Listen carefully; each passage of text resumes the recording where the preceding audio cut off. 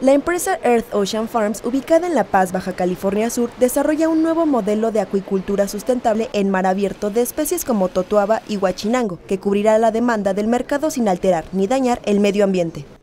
Los juveniles, que son peces pequeños, se crían en un laboratorio para después pasar a la engorda, en donde los ponen en jaulas sumergibles en mar abierto para su crecimiento. Lo que hacemos es acuacultura de peces, entonces respetamos la especie, respetamos los peces.